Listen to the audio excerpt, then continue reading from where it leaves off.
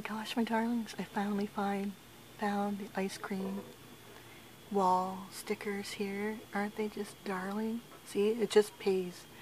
You're looking for something, you're looking for something. I guess you just have to be patient and it will come.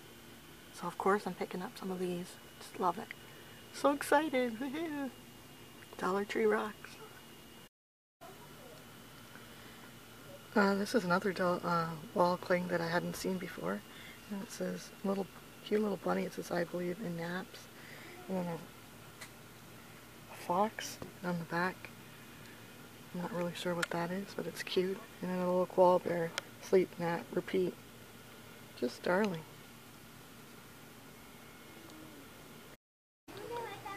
So they have uh, Burt's Bees at the Canadian Dollar Tree. It's like a, a lip balm, I think. Almond and milk. Oh, sorry. It's almond and milk hand cream. Burt's Bees.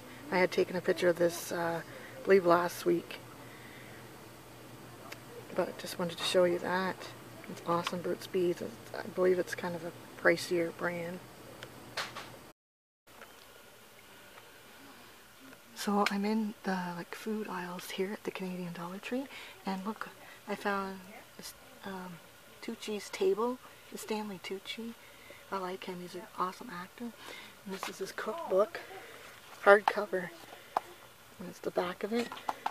And then I found this one, Food Italian Guide Essentials. This hardcover as well. Some really great cookbooks here. This bread and butter cookbook. And this one, I think I might get this one too. Big Book of Burgers. Weber's.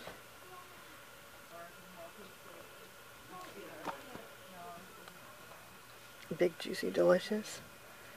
Um, let's see if I can find how much these originally are. Well, it's all under here, but it looks like $23 or something like that.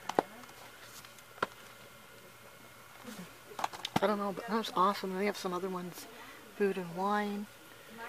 So just Canadian Dollar Tree if you're looking for cookbooks. My gosh, they got lots. Whiskey and distilled. Want the Dollar Tree. And these are new. These are uh, shaker stickers. Hopefully you guys can see these. And these are like a bumblebee kind of theme ones. These are kind of girly stickers. You go girl, fierce. And they're shaker, shaker stickers. And these are like the cat ones, shaker stickers.